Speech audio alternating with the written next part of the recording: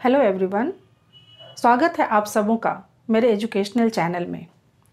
काफ़ी दिनों के बाद एजुकेशनल चैनल पे आई हूँ, क्योंकि त्योहारों का मौसम था। आप सभी उसमें मशगूल थे। उसके पहले एग्ज़ाम्स चल रहे थे। तो अब एग्ज़ाम्स भी ख़त्म हो गए और सारे पर्व त्यौहार भी ख़त्म हो गए। दिवाली भाई दूज छठ सब आप लोगों ने मनाया होगा, है ना? लेकिन लेकिन त्योहारों की खुमारी अभी बाकी है। वो छठ का जो गाना है ना, वो अभी भी कानों में गूंज रहा है।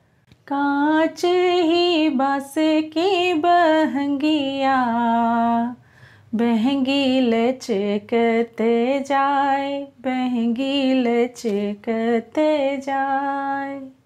लेकिन अब इस खुमारी को तोड़ना है और वापस से अपने पढ़ाई के क्षेत्र में घुसना है। और इसलिए आज फिर से मैं क्लास सिक्स से स्टार्ट कर रही हूँ। क्लास सिक्स की हिस्ट्री हम पढ़ेंगे। लेकिन मैं सोचती हूँ कि आज आज की क्लास स्टार्ट करने से पहले मैं आपको एक कहानी सुनाऊँ, छोटी सी। कहानी है किस्सा गौतमी की। किस्सा गौतमी एक समय में एक स्त्री थी, एक महिला थी, एक लेडी थी।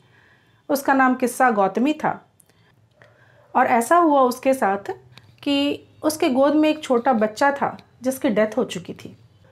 तो एक माँ के लिए बहुत ही तकलीफ़ का विषय होता है कि उसके रहते हुए उसका बच्चा गुजर जाए। वो काफ़ी दुखी थी, बहुत रो रही थी, बहुत रो रही थी। तब तक उधर से जा रहे एक दयालु व्यक्ति की नज़र उस पर पड़ी। उसने कहा कि क्या बात है, तुम क्यों रो रही हो? आप क्यों रो रही हैं इतना? तो उसने कहा कि मेरा छोटा सा बच्चा है, वो एक्सपायर कर गया, उसकी मौत हो चुकी है, उसकी मृत्यु हो चुकी है। और इसीलिए वो छटपटा रही थी बिल्कुल। एक माँ की क्या दशा हो सकती है? उसका छोटा सा पुत्र था और उसकी मृत्यु हो चुकी थी तो एक माँ बहुत छटपटा रही थी कि किसी तरह से कोई भी उसे ज़िंदा वापस ले आए। तो उस व्यक्ति ने कहा कि चलिए आप मेरे साथ चलिए, मैं आपको एक मुनि से मिलवाता हूँ। उसके बाद वो उन्हें लेकर आया महात्मा बुद्ध के पास। महात्मा बुद्ध को जब पता चला कि स्त्री का छोटा सा बच्चा था, जिसकी मृत्यु हो गई, और इसीलिए वो बहुत बिलख रही है, बहुत रो रही है, और चाहती है कि किसी भी तरीके से उसका बेटा वापस आ जाए, उसने महात्मा बुद्ध से भी यही कहा कि आप कुछ भी कीजिए, मेरे बेटे को वापस ले आइए, मेरा बेटा मर चुका है। तो महात्मा बुद्ध ने कहा, ठीक है, ऐसा संभव है? बिल्कुल होगा ऐसा। बस आप ये कीजिए कि मुझे कहीं से? एक मुट्ठी सरसों ला के दीजिए। एक मुट्ठी सरसों के दाने मुझे ला के दीजिए तो मैं आपके बेटे को वापस कर दूँगा।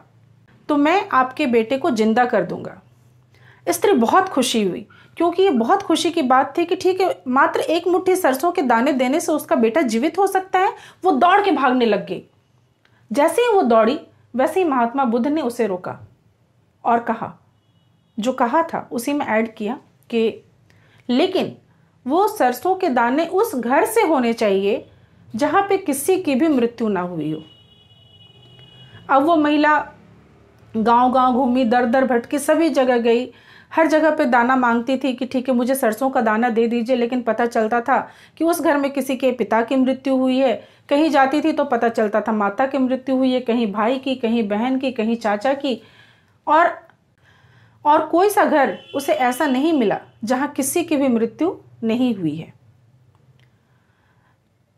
तो सवाल ये उठता है कि ये कहानी मैं आपको क्यों सुना रही हूँ? या महात्मा बुद्ध ने उसे ऐसा क्यों कहा? आखिर महात्मा बुद्ध उस स्त्री को कौन से शिक्षा देना चाहते थे? ये वो सवाल है जो उस दौर का है, जब जो नए नए चिंतक आए थे, उनके दिमाग में इस तरह के सवाल आते थे कि मृत्यु क्या है? ये दुख क्या है? मृत्यु के बाद क्या है? तो इन्हीं सबसे रिलेटेड है आपका आज का चैप्टर जिसका नाम है new questions and ideas new questions and ideas में आखिर क्या खास बात है? क्या नया है इस चैप्टर में? तो पहले हम देखें कि ये चैप्टर जो आपका स्टार्ट होता है, ये अनघा की स्टोरी से स्टार्ट होता है, जिसमें अनघा जो है वो अपने स्कूल ट्रिप पे जा रही है स्कूल की तरफ़ से कहीं टूर पे जा रही है, और वो महाराष्ट्र के पुणे से वाराणसी जा रही है। स्कूल ट्रिप जा रहा है महाराष्ट्र के पुणे से उत्तर प्रदेश के वाराणसी में। उसकी माँ उसे जब छोड़ने आती है तो टीचर से बात करती है और कहती है कि बच्चों को जब आप यूपी लेके जा रहे हैं, वाराणसी लेके जा रहे हैं तो महात्मा बुद्ध के बारे में अवश्य बताइएगा और सारनाथ के बारे में अवश्य बताइएगा और सारनाथ ज़रूर घुमाइएगा उन्हें। ऐसा कहती है उसकी माँ। तो सारनाथ में क्या था? सारनाथ किस चीज़ से जुड़ा हुआ है? चलिए देखते हैं। पहले तो ये जानिए कि जिस गौतम बुद्ध की मैंने बात कही, जो मैंने कहानी सुनाई महात्मा बुद्ध की, उनके बचपन का नाम सिद्धार्थ था। गौतम नाम था उनका। ठीक है? और माना जाता है कि वो बुद्धिज्म के फाउंडर थे, यानी बौद्ध धर्म की स्थापना उन्होंने की थी। इसके बाद देखिए कि आखिर एक नए धर्म की स्थापना की क्या आवश्यकता पड़ी। तो, आप देखेंगे कि उस समय समाज में बहुत तरह के बदलाव हो रहे थे। उस समय क्या था? रैपिड चेंज हो रहे थे लोगों की लाइफ में। बहुत तरह के चेंजेस हो रहे थे। क्या हो रहा था? आप इसके पहले के चैप्टर में हम लोगों ने पढ़ा कि महाजन पदा था। जनपदा से महाजन पदा और फिर महाजन पदा के जो किंग्स थे वो बहुत ही स्ट्रांग बनकर उभरे थे। एक ये बदलाव हो रहा था। दूसरा बदलाव ये हो रहा था कि नई नई सिटीज़ डेवलप हो रही थी। साथ ही साथ जो विलेज का लाइफ स्टाइल था, वो भी चेंज हो रहा था। और उस समय के बहुत से चिंतक थे, बहुत से महात्मा ऐसे थे, बहुत से मुनि ऐसे थे, जो ज़िंदगी के वास्तविक अर्थ को समझना चाहते थे कि आखिर ये ज़िंदगी क्या है, ये जीवन क्या है। इस तरह के नए नए प्रश्न उनके दिमाग में आते थे। और इसी से रिलेटेड आपका ये चैप्टर है। तो हम देखें कि the Buddha belong to a small gana known as Shakya gana Buddha जो थे, जिनके बचपन का नाम सिद्धार्थ या गौतम था, एक स्मॉल गण से बिलोंग करते थे। गण आपको ध्यान होगा कि मैंने जब आपको महाजन पदा बताया था तो आपको दो तरह के महाजन पदों के बारे में बताया था, जिनमें से एक थे गण संघ और दूसरा था राज संघ। और ये महात्मा बुद्ध जो थे, वो एक गण से बिलोंग करते थे, जिसका नाम था शाक्य गणा। साथ ही वो क्षत्रिय भी थे। जब वो यंग थे, तभी उन्होंने सारे सुखों का त्याग कर दिया था और इधर उधर भटकने लग गए थे। तलाश में। आखिर क्या तलाश थी उन्हें? तलाश थी उन्हें ज्ञान की। और ये ज्ञान उन्हें प्राप्त हुआ बोध गया में, बोधि वृक्ष के नीचे, अर्थात पीपल के पेड़ के नीचे। बोध यानी ज्ञान, यानी इनलाइटमेंट उन्हें जो इनलाइटमेंट मिली, वो पीपल के पेड़ के नीचे मिली, जो बोध गया में है। और उन्होंने जो अपना पहला उपदेश दिया वो उसी सारनाथ में दिया, जिसके बारे में अनघा, जो कि स्कूल ट्रिप पे जा रही थी, अनघा की मम्मी ने टीचर को बोला था कि आप उत्तर प्रदेश लेके जा रहे हैं बच्चों को ट्रिप पे तो बुद्ध के बारे में ज़रूर बताइएगा और सारनाथ के बारे में ज़रूर बताइएगा, जहाँ उन्होंने अपना प्रथम उपदेश दिया। और बाकी की ज़िंदगी उन्होंने घूमते हुए जगह जगह घूमते हुए बिताई। और उनका अंतिम समय कुशीनारा में बीता, जहाँ पे उनकी मृत्यु हुई। मृत्यु से पहले अपने जीवन काल में जब जब उन्हें इनलाइटमेंट मिला था, यानी बोध प्राप्त हुआ था, उसके बाद ही एक्चुअली वो बुद्ध कहलाए। और तो इनलाइटमेंट के बाद उन्होंने कुछ उपदेश दिए। वो उपदेश क्या है? आइए हम डिस्कस करते हैं। तो उन्होंने क्या टीचिंग्स दी थी? इस टीचिंग्स को हम जानते हैं। टीचिंग्स में उन्होंने ये कहा कि जो उपदेश थे उनकी उसकी बात हो रही है कि life is full of suffering and unhappiness यानी कि सर्व दुखम दुखम। यानी कि हर जगह पे दुख है। हर चीज़ में दुख है ऐसा उनका मानना था। तो फिर आखिर इस दुख की वजह क्या है? मान लीजिए दुख है तो, तो दुख का कुछ कारण तो होना चाहिए। तो उनका मानना था ये जो सफरिंग है लाइफ में या अनहैप्पीनेस है इसके पीछे जो रीज़न है वो रीज़न है एक प्रकार का थर्स्ट जिसे उन्होंने तनहा का नाम दिया। तनहा।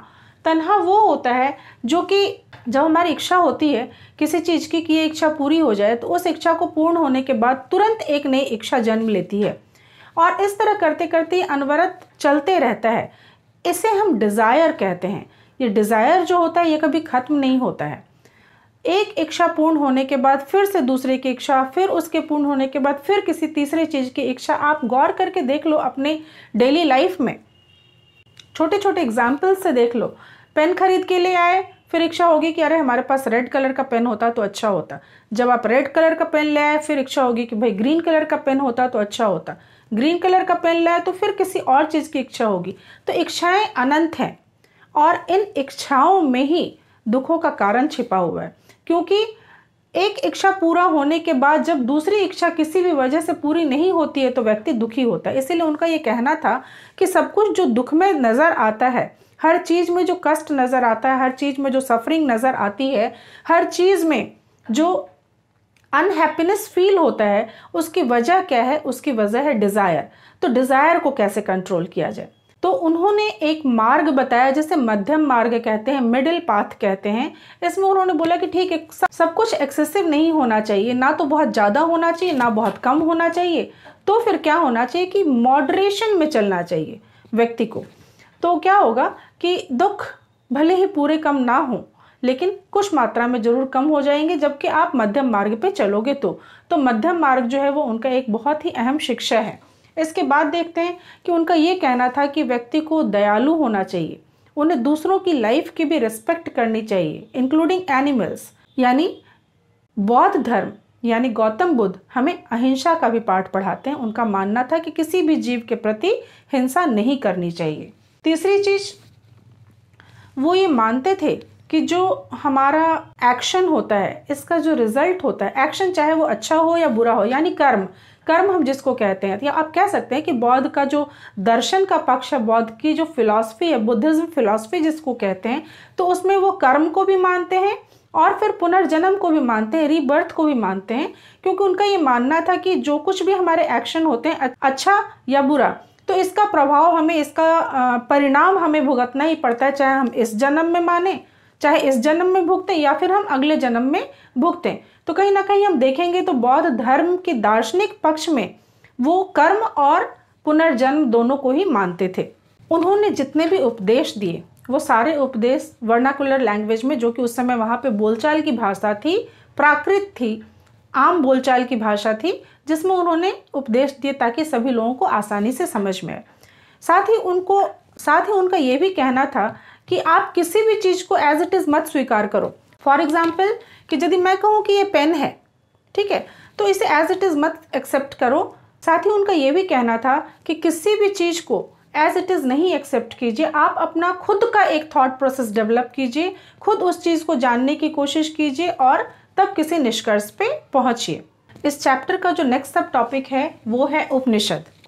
सबसे पहले इसके शाब्दिक अर्थ को समझिए। उपनिषद का शाब्दिक अर्थ है समीप बैठना, नज़दीक आके बैठना अप्रोचिंग एंड सिटिंग नियर यानी करीब आके बैठना। तो करीब, कौन किसके करीब आके बैठ रहा है?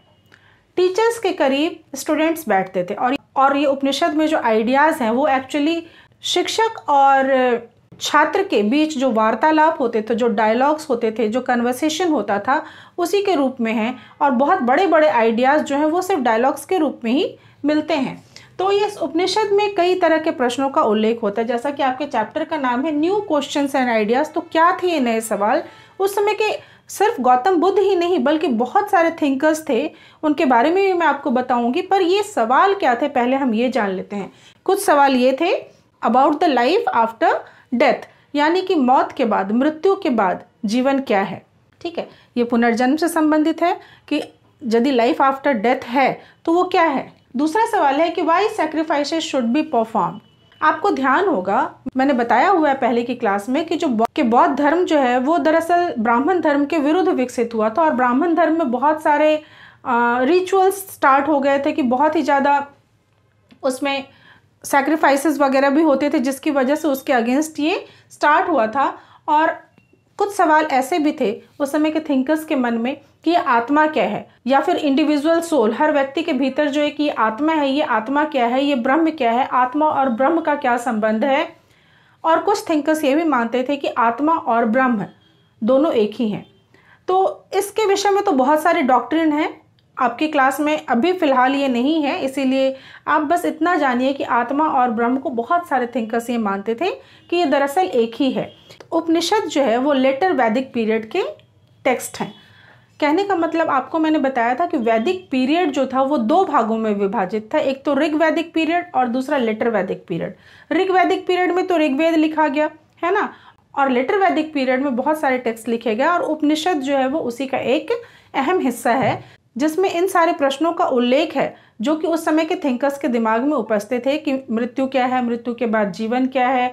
यदि जीवन है तो फिर आत्मा क्या है, परमात्मा क्या है, आत्मा परमात्मा का संबंध क्या है? इस तरह के नए सवाल थे, इस तरह के नए आइडियाज़ थे, जो उस समय विकसित होना शुरू हुए थे। तो आज की ये क्लास मैं यहीं पे ख़त्म कर रही हूँ। फिर हम मिलते हैं अपनी नेक्स्ट क्लास में। Thank you students